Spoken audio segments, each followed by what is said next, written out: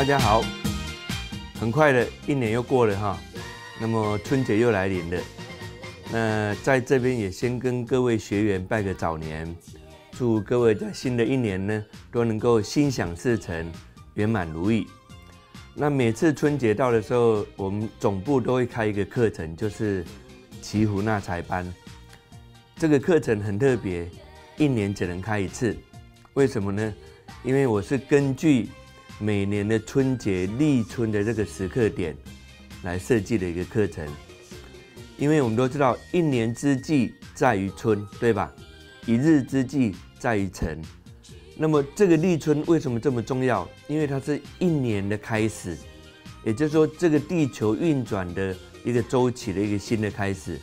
所以，古代的中国人把这个时刻点称为春节、过年。